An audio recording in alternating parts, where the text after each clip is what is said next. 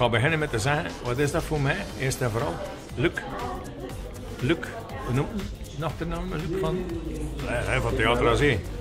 Luc Meulaar. Ja, maar ja, die is uitgenodigd bij ons ieder jaar op de algemene vergadering voor, bij de senioren, vooraleer dat Theater aan Zee is, om Hans het programma te komen uitleggen aan senioren.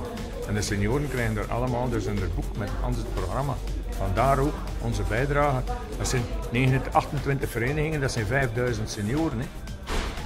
Natuurlijk zijn er veel die in, de, in, de, in dezelfde vereniging, in de verschillende verenigingen zijn. Heel. Maar dat komt allemaal en ah, vandaar ook hopen wij dat dat een grote bijdrage is voor de senioren aan, aan Theater aan Zee.